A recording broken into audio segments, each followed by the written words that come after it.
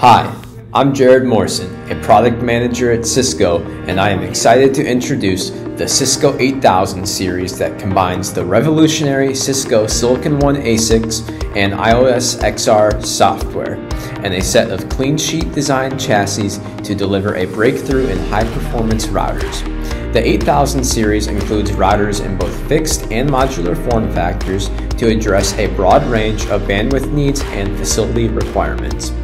The 8000 series comprises a full range of feature-rich, highly scalable, deep buffered on-chip high bandwidth memory and 400 gigabit optimized routers ranging from 3.2 to 25.6 terabits per second in a 1 RU footprint.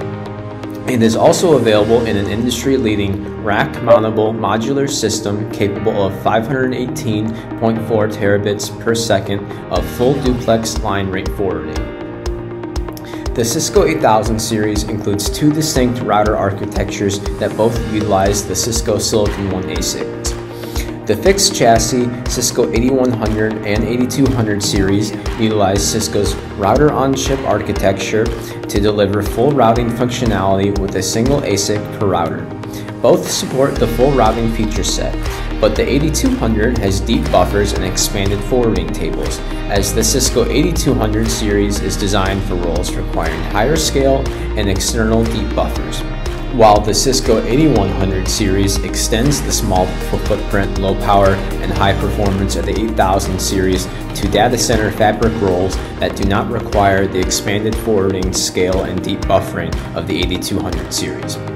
The ROC architecture is distinguished from system-on-chip switches by supporting large forwarding tables deep buffers, more flexible packet operations, and enhanced programmability. The Cisco 8100 and 8200 provide up to 25.6 terabits per second of network bandwidth with the lowest typical power consumption in the industry. The modular chassis Cisco 8800 series provides the highest bandwidth via modular chassis with a redundant control plane and switch fabric.